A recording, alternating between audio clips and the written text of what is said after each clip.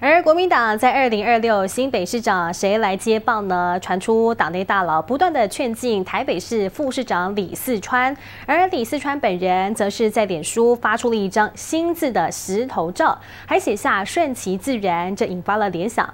而今天台北市长蒋万安帮忙解释说这颗放心石的典故，但是也传出如果李四川不选新北市长的话，那么蓝营可能会改推林奕华披挂上阵。北市状元，蒋完找来江宏杰特训。这个项目就是一定要帅。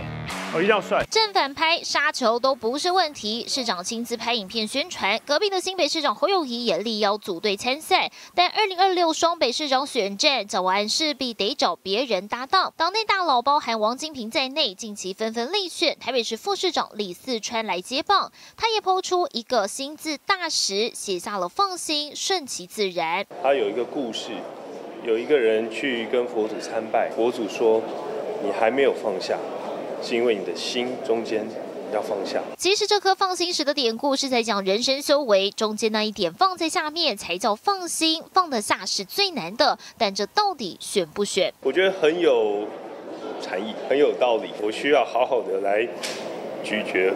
玩味思考一下。传出如果李四川坚持不选新北市长，地方人士也有备案，瞄准另外一位副手林奕华，文教背景又是女性，相当适合出马对决苏巧慧。没有听说这个讯息，不过我们全心全力协助蒋市长推动台北市政。动我一个副市长还不够，还要动我另外一个副市长。我们市府团队大家非常的团结，有向心力，我们都持续在努力的推动台北市政。毕竟第三位副市长悬缺将近一年都没补齐，先顾好眼前，也才有二零二六。记者黄肖瑞生台报道。